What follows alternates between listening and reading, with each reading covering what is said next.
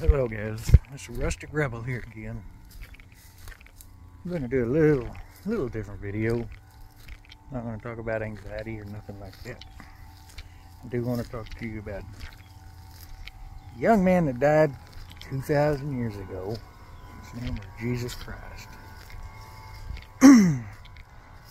he was a sacrificial lamb to give us something that we did not deserve. All he asks in return is your belief in him and trust. Repentance. Turn around and follow him. A lot of people don't think too much of that.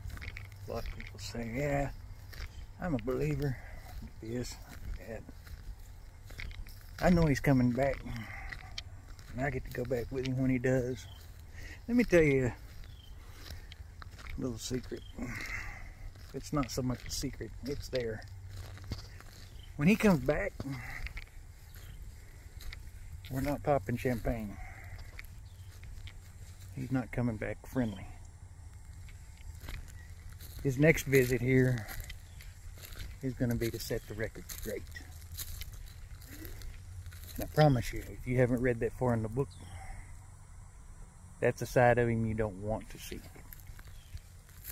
we're going to see enough of it as it is, but when it gets to that point, it's hell to pay. Best thing to do, get the knowing now, before that day happens. Another thing is, if you don't make it to that day, if you die before then, your chips are cashed in, there's no second chance yeah, it does say during the tribulation that there'll be some people that are saved, but they won't be saved from his wrath at all. They're still going to have to go through it. So, as for me and myself, I choose to make that relationship now. That relationship and that walk is getting better every day. Highly recommend it. Think about it. I love y'all, or I wouldn't do these videos.